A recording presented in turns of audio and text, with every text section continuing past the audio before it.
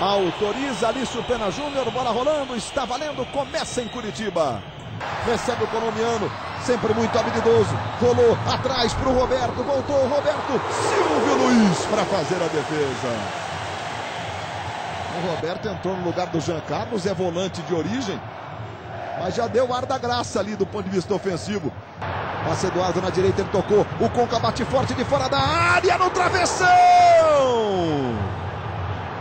Pela Sul-Americana, o Vasco venceu o Atlético aqui por 4 a 2 jogando com o time de reservas. O Conca entrou no finzinho e exatamente dali ele fez um gol assim. Só que a bola entrou. Parece que a gente está vendo um replay daquele jogo. O Vasco venceu por 4 a 2 e depois por 2 a 0 Aliás, a vitória por 2 a 0 pela Sul-Americana foi a última do Vasco. Né? Foram quatro faltas cometidas pelo Atlético, oito pelo Vasco. Netinho, Silvio Luiz tirou. Aí vem o levantamento. Vai subindo Danilo, Silvio Luiz para fazer a defesa. Mas o Leandro Amaral foi quem bateu. Mesmo sem tomar distância, ele acertou um chute forte.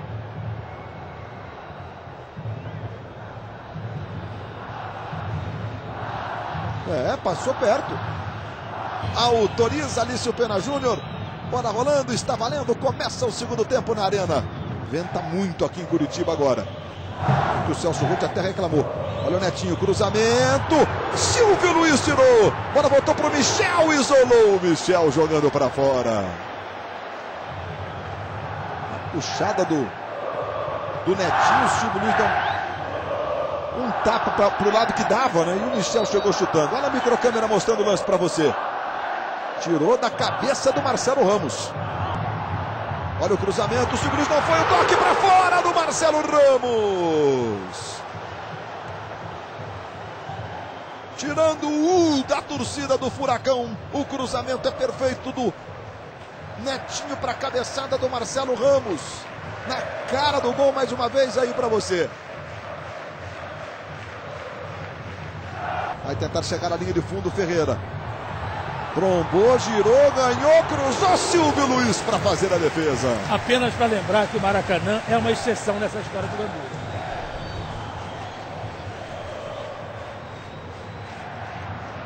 Olha o Clayton, cruzou o Marcelo Ramos, de cabeça para fora. E o Ferreira atrás do Marcelo Ramos, livre. O Marcelo Ramos botou a mão no ouvido, como quem disse, você não me avisou. Também se avisa, talvez o Ferreira tivesse impedido, mas olha o Marcelo Ramos ali, ele subiu, tocou de cabeça. Aí quando ele olhou para o lado, o Ferreira estava de braços abertos. Ganhou do Roberto. Aí o Rubem Júnior Tenta chegar na linha de fundo. Dominou o Rubem Júnior. Cruzamento. Allan Kardec chegou o Conca. Dominou. Bateu de esquerda. Saiu fraquinho. O chute foi tudo certo. Só a finalização que não foi. Se lamenta o Argentina. A jogada do Rubem Júnior. A bola bate nas costas do Rodolfo e cai limpa para o Conca. Mas dominou. E ficou com o gol todo à sua frente. Bom momento para o Furacão Netinho. Aqui Pedro Odoni recebeu, girou na grande área, tentou o chute, jogou pela linha de fundo. Globo, a gente se vê por aqui.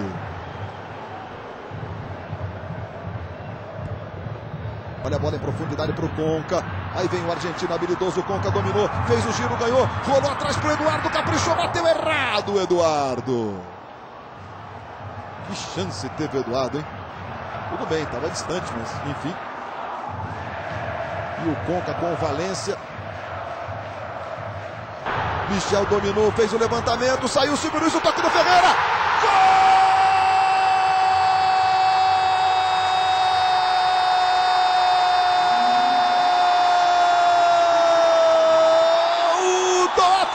Atlético!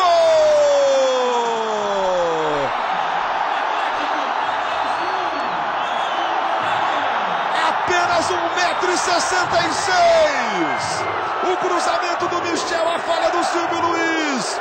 E o Ferreira faz o primeiro dele no Campeonato Brasileiro. Subiu, na dividida tocou.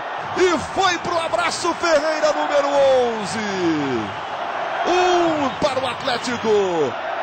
Zero para o Vasco aos 44 minutos. talvez o jogador mais importante do time da temporada, faz o primeiro gol dele e vai cheio de moral para enfrentar o Brasil no próximo domingo lá em Bogotá, na Colômbia. Aqui apita Alício Pena Júnior. Fim de papo na arena, Ferreira, o colombiano. Um para o Atlético, zero para o Vasco. Globoesporte.com, absolutamente tudo sobre esporte.